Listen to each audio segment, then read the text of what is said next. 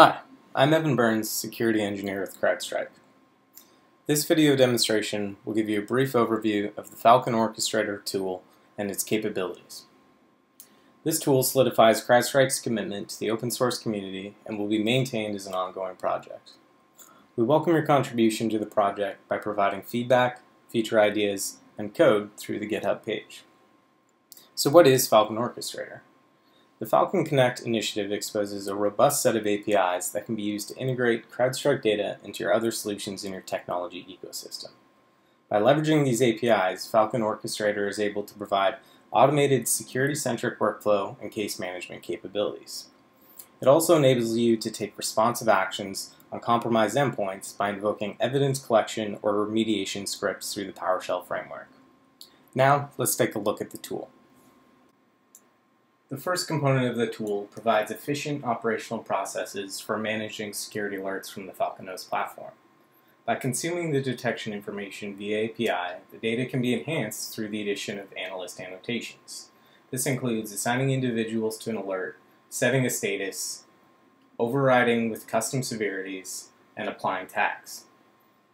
Falcon Orchestrator also integrates with Active Directory to provide you with more context around the impacted users thus allowing analysts to make more informed decisions and prioritize alerts accordingly.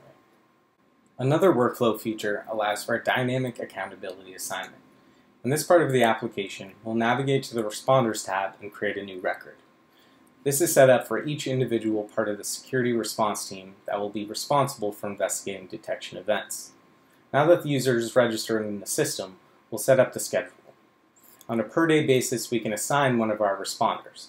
This way the system will automatically reference the schedule and assign it to that responder accordingly. A common use case for any technology is the ability to classify and categorize assets and alerts for reporting and prioritization. By opening a detection event, we can see that the system was able to resolve the Active Directory OU this user is a part of. We can now use this information to create a new taxonomy rule. When creating a rule, we can apply regular expressions for username or hostname or select an Active Directory OU or group. We can also set a taxonomy to a critical rating, thus raising the priority of any related alerts. Once the rule has been published in the system, any associated detections will automatically be tagged and displayed to the analyst. By navigating to the dashboard, we can also view detection counts by each taxonomy rule that we've created. In addition to taxonomies, we can define whitelisting rules to mark detections we know to be causing noise. This allows analysts to focus on valid security threats by ignoring false positives. As we can see, there are two detections in an open status for VSS admin. When creating a rule, we can define a regular expression for file name, file path, or command line, or alternatively define a SHA-256 hash. We also provide a reason to keep an audit trail of why the rule is configured. Once we've created the rule, any existing and net new alerts will automatically be set to a status of whitelisted. Responding to a security incident typically involves taking a containment-based action to limit impact of the threat. A common response mechanism is to disable the credentials of any compromised accounts. By selecting the containment status in a detection workflow, we are prompted with the ability to disable the user account and enforce a password reset. As we can see, this account is currently active and functional within AD. By submitting the containment request, the system will reach back to Active Directory and lock down the account. This coupled with network containment of the compromised device through Falcon Host significantly reduces the number of steps an analyst must perform during an incident, thus reducing the overall time to containment and remediation. Next up, we have the first forensic feature, the Forensics module leverages PowerShell to execute commands on remote endpoints for response purposes. For steps on prerequisite configuration, refer to the project's GitHub page. File extraction allows analysts to extract files from target systems to perform post-analysis or collection of incident artifacts. First, we'll navigate to the Forensics tab and select File Extraction. For this demonstration, we'll extract a test text file from one of our Windows servers.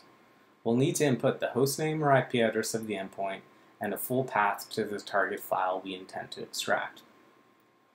The server will then obtain metadata regarding that file and provide a link to the user to download the file. This file will now be downloaded in the browser as a password-protected zip.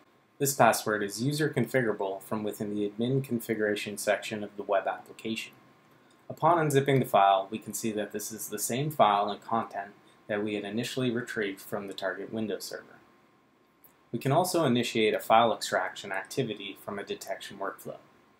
This limits the need to supply hostname and file path information since it's already provided within the detection details. The second forensics feature allows analysts to browse the file system on a given endpoint to search for incident artifacts of interest. By providing the IP address or hostname of a system and an initial directory, we can begin traversing and searching directories on the file system. By executing a search, we get a full listing of the root C directory. In this case, we have located the same test.txt file from our previous example. We'll switch over to the server to show that we are returning the same results as executing a get child item command locally. Switching back to the application, we can then begin drilling down into each directory to seek out any file-based artifacts of interest. The last response feature, part of the initial release of Falcon Orchestrator, allows a user to query the registry of a system to get a listing of installed software.